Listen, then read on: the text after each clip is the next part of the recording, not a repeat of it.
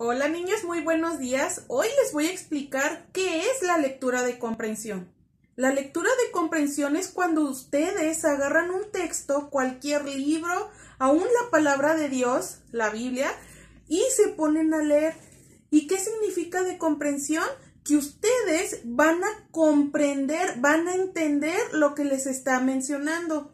Por un ejemplo, abrí mi Biblia en Génesis capítulo 1 y el versículo 11, y dice así, después Dios dijo que de la tierra brote vegetación, toda clase de plantas con semillas y árboles que den frutos con semillas.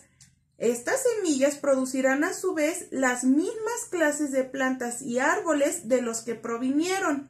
Y eso fue lo que sucedió. Ahí, ¿qué comprendí yo? Ah, que Dios hizo árboles, hizo plantas y que Dios les dijo, ¿sabes qué?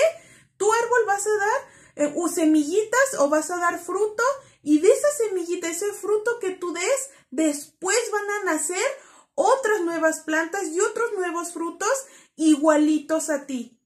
Y eso fue lo que sucedió. ¿Sale?